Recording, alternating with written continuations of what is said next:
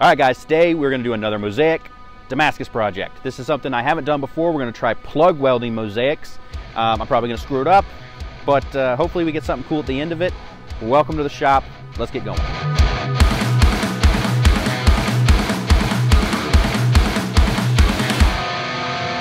So here's a quick rundown on the pattern. I promise I won't take too long. We're gonna start with our stack of steel.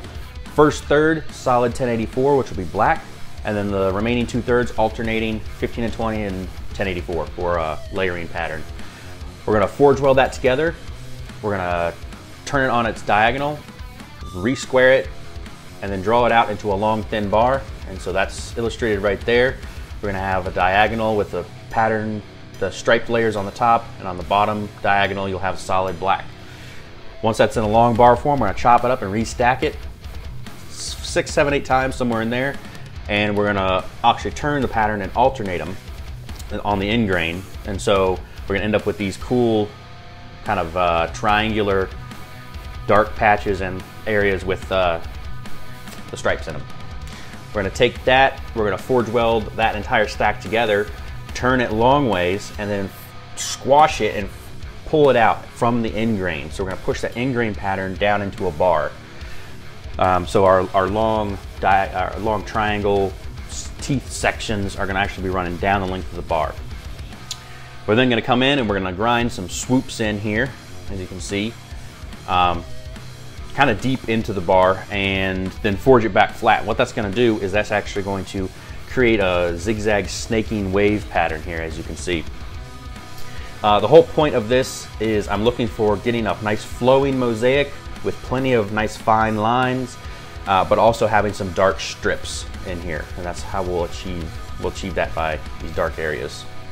Um, and then right, once we've got this down to a kind of a knife thickness billet, uh, about a quarter inch or so, maybe a little, maybe a little thicker, we're gonna drift holes into the pattern. So I'm gonna start a little tiny pilot hole, and then we're gonna punch a drift through, and that's gonna spread those layers right there all the way around it. And then we're gonna do a, what's called a plug weld. We're gonna take a plug of mosaic Damascus that we've made previously, and we're gonna plug it in there and we're gonna weld it in place. And so that way, the final billet will have these cool plugs of different mosaics in the flowing grain pattern. So that's a quick overview of where we're going with this. I've never done plug welding, so fingers crossed that works. Also the weld where this stack is drawn out against all the grains is a really stressful weld on the on the metal. So hopefully we don't split or crack anything. But if we screw it up, we're gonna show you. Let's get going.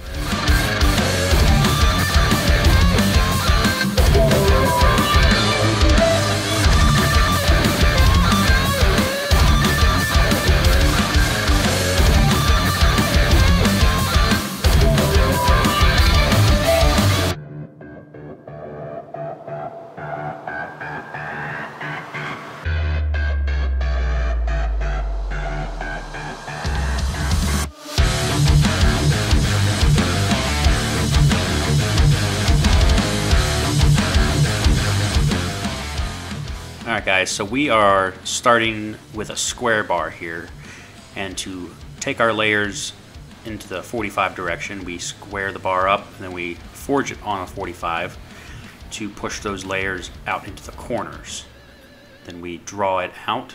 As you can see, the layers are on the bottom of the billet and not on the top because the top corner is going to be all black with that solid 1084.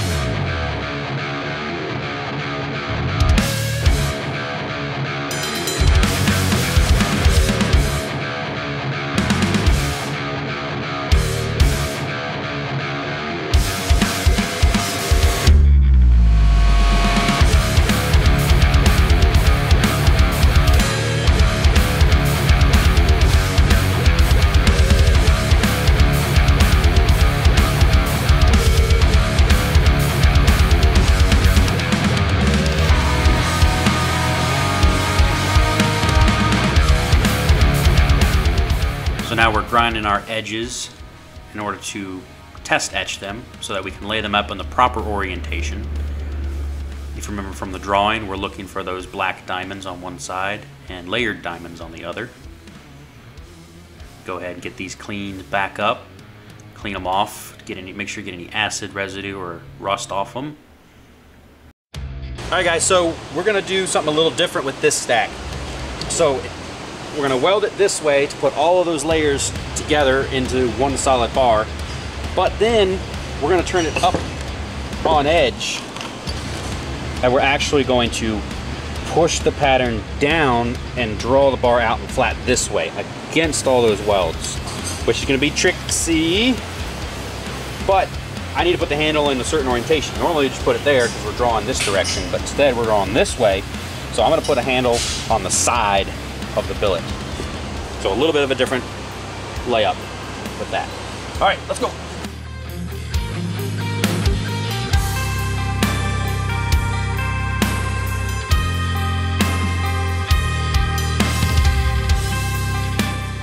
So we are putting a handle on this billet, but you'll see later on we actually take that handle off pretty quickly because I need to forge it from that side with the handles on in order to control the pattern as it's drawing out. So we're going to set this weld from the side of the press, going back and forth, making sure we get a good binding weld because here in a sec we're going to flip it up on end and smash it down. Start that drawing out the face pattern.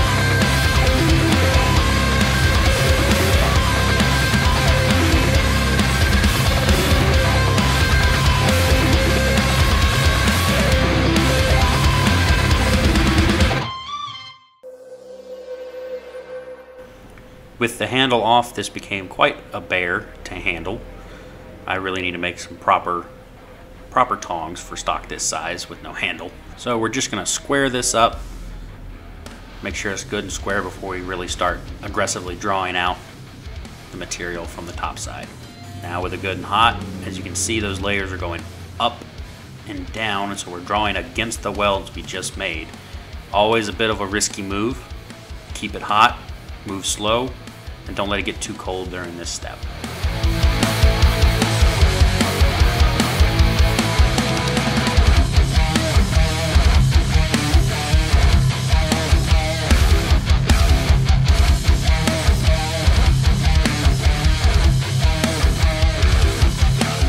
Then of course, once we got it to the size we wanted it, and we're just gonna draw it lengthways out, we went ahead and put another handle on it. From this point on, it's just pattern control. Making sure that the billet doesn't get too wide. Drawing it out nice and long, throw it in the rolling mill to get it down to that final size we want. And here we're shooting for a heavy quarter inch. Um, hindsight should have gotten thicker, uh, but you'll see why later on.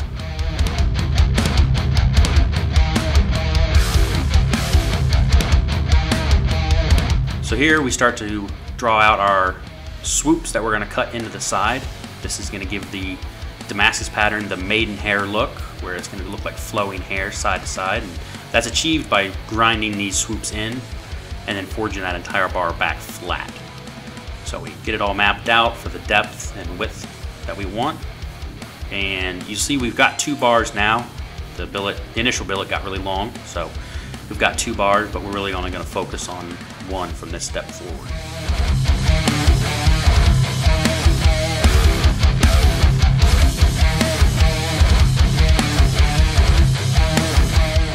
Back into the forge and under the hydraulic press, gently push back the billet into square. Being very careful not to create cold shuts. It's really easy to do when a billet's this thin and has that much action going on. But as you can see, it's very, very gracefully putting in a beautiful sway into the pattern there.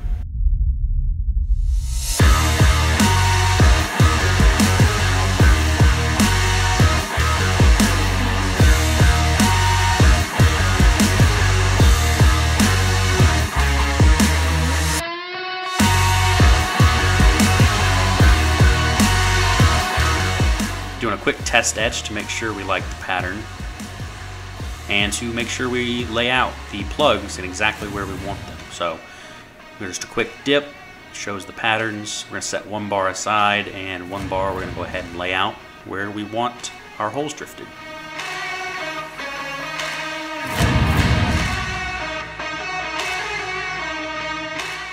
Then with a small drill bit, we're to put a tiny pilot hole at each mark.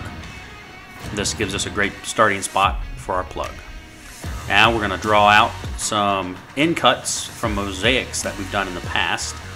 And under the hammer, we're going to very carefully round these mosaics over and turn them into the plugs that we will later use in the Damascus.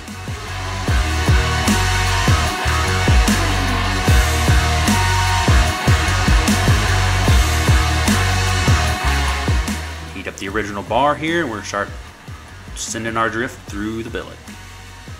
Working it back and forth gently, going on in both directions so as to not tear any of the material too badly out one side or the other. Now in this step you've got to be careful not to deform your other holes as you go. I found the best way to do that is to drift the hole about 90% of the way and then move on to the other hole. Once you have all three at about 90%, then you go ahead and finish them out the last 10%.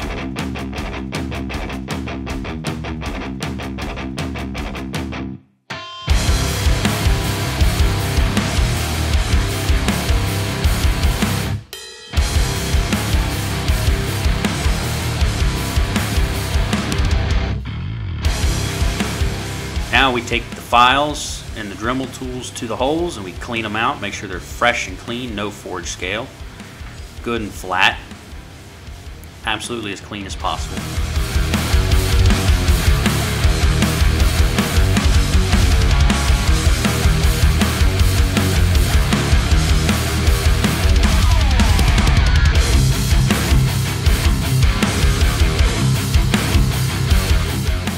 With our holes clean, we now measure our final interior dimensions, cut our plugs to the lengths we need.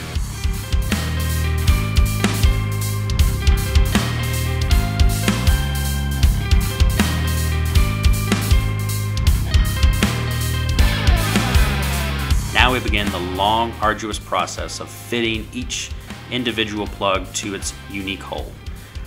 We're looking for as tight a fit as possible and at the end we'll actually friction put them in by hammering them in the rest of the way before welding.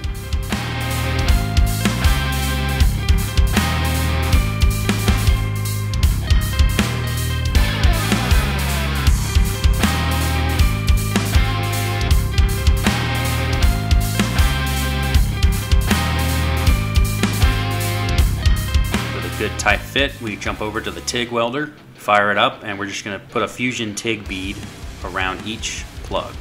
No filler rod in this material.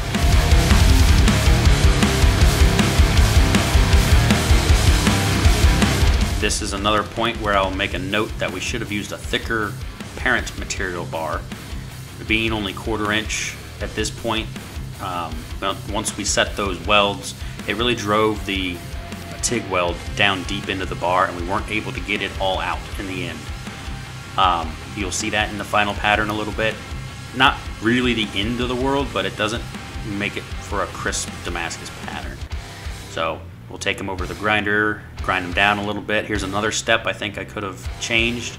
I would have made them even shorter. So they only protruded about 3 16ths of an inch above the parent bar. Now luckily they fit over my power hammer dies so that I could set all three all at once. That was really helpful. Now with the weld set, we're just gonna true it up with the hand hammer. Make sure the pieces are good and flat in there, no raised sections. Trying to get as flat as possible. And once again, you don't want to forge on the edge of the bar here. You want to keep those those bulges in there because that's pattern. We'll grind it flat later, but you don't want to forge that back in or you'll screw up your, your roundness of your plug.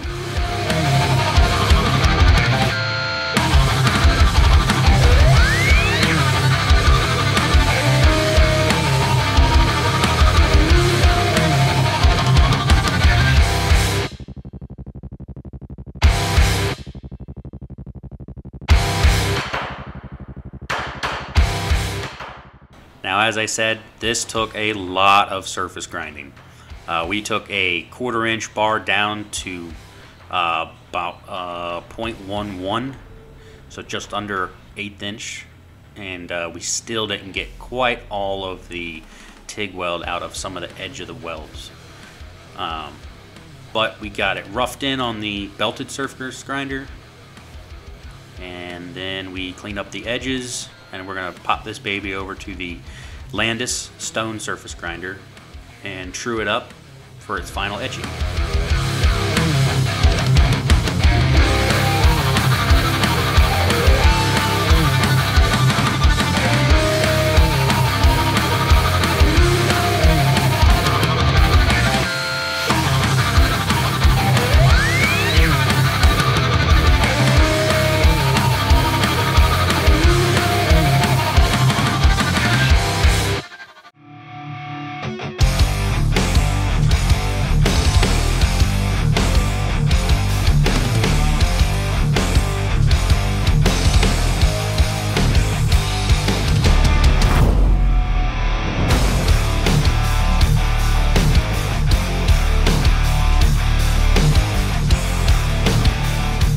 All right, guys. Well, that was a ton of fun. We learned a lot. Um, I want to take a second to shout out Prince Forge Works, Joshua Prince. Um, he really helped us with some of these techniques. I've spent a lot of time in the DMs with him on Instagram, uh, chit chatting, asking him questions, trying to figure out um, exactly how to do this properly. Um, he's a very skilled bladesmith and makes a lot of plug welded mosaic Damascus. So go check him out. Um, this was a, just a test. We're going to eventually make a couple of these sort of bars to sell on the Instagram, sell on our website. Um, but this was just a test.